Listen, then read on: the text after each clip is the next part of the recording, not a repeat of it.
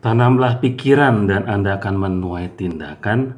Tanamlah tindakan dan Anda akan menuai kebiasaan. Tanamlah kebiasaan dan Anda akan menuai karakter. Tanamlah karakter dan Anda akan menuai nasib.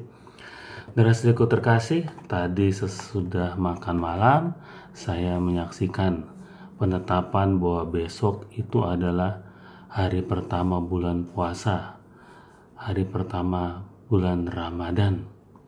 Dan saya sebelumnya mendengar renungan sedikit yaitu tentang ikhlas dan ridho.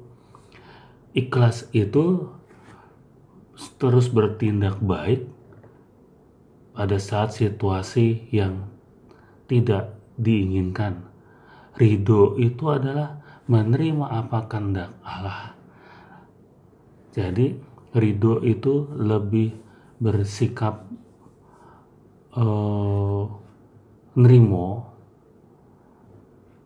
dan ikhlas itu lebih bersikap dalam nerimo itu terus berbuat kebaikan. Begitu pemahaman saya, entah benar atau tidak, tetapi setidaknya pemikiran itu yang masuk ke dalam diri saya dan menurut wow, luar biasa. Karena itu artinya adalah dalam situasi apa pun kita yang bertanggung jawab responsnya ada di dalam diri kita. Jadi bahwa keadaan mau seperti ini. Lalu pilihannya adalah ridho dan ikhlas. Ikhlas itu bahwa kita tetap berbuat baik, bertindak kebaikan, tetap beribadah, tetap beramal dalam situasi seperti ini. Dan ridho adalah kita terima ini. Nggak mengeluh nggak marah sama Tuhan. Lalu setidaknya tidak membuat respon-respon yang tidak menyenangkan tetapi respon yang baik respon yang positif. Saya rasa itu adalah santapan rohani yang juga bisa kita nikmati.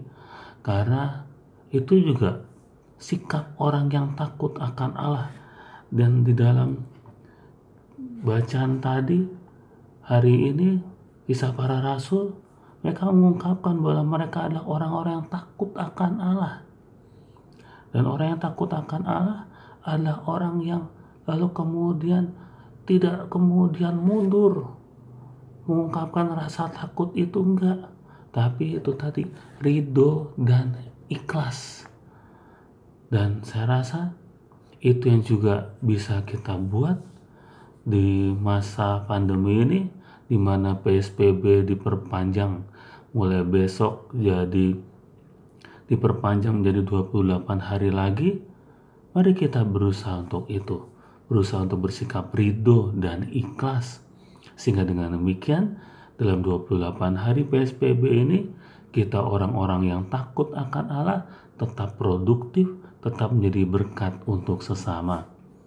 Terima kasih semakin diberkati, berkomitmen memberdayakan.